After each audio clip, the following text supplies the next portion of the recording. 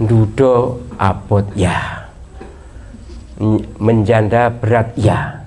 Tapi biasanya lebih kuat wanita dibanding pria. Wong edo itu ngerondo sak umur itu kuat. Demi ngopani anak itu kuat.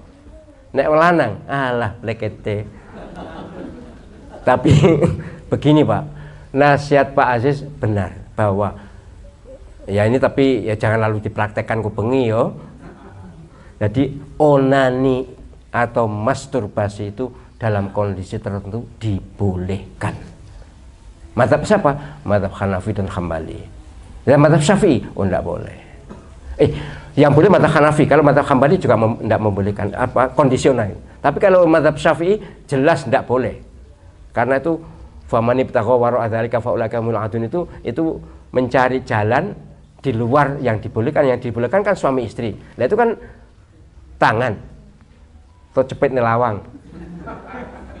Tapi boleh pak. Daripada berzina dia mau nikah mungkin belum ada yang dinikah atau ya pertimbangan-pertimbangan tertentu kan banyak lah mungkin anak dan sebagainya. Boleh kalau memang tidak ada salurannya. Tapi ojo ngilangganan ya darurat tok ae.